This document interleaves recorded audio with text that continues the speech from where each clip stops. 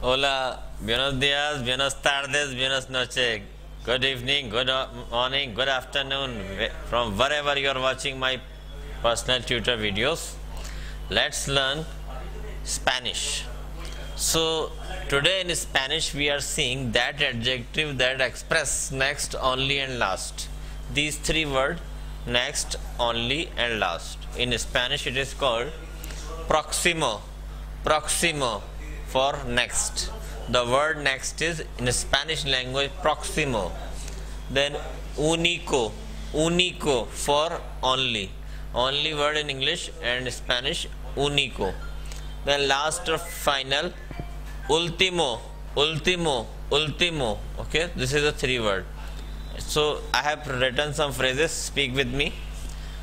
Proximo, that is for next. Now Vamos a viajar el próximo año means we are going to travel next year.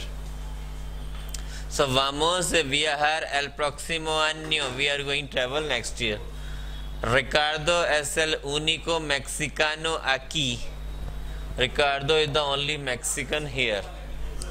Ella es ella es la única española. She is only Spaniard. El último mes del año de diciembre. The last month of the year is December. Hoy es la última clase del semestre. Today is the last class of the semester. La próxima lección es interesante. The next lesson is interesting. So guys, we are learning three words in Spanish language that that, that is express next only and last. And for we use proximo for next unico only ultimo and last of final. So phrases i have written to speak with me. Vamos a viajar el próximo año. We are going to travel next year. Ricardo es el único mexicana aquí.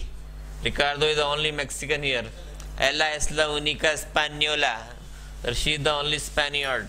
El último mes del año es diciembre the last month of the year is December.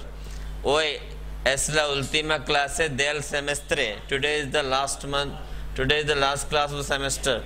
La próxima lección es interesante. The next lesson is interesting. So, guys, this is the thing, very important thing. Keep loudly speak and keep everyday practice and keep watching my videos. With this, I would like to have and subscribe my channel, subscribe it so that you may not miss my next Spanish video. Want to learn any foreign language offline, online, you can comment in the comment box. Okay. So muchas gracias. Want to write, write it down.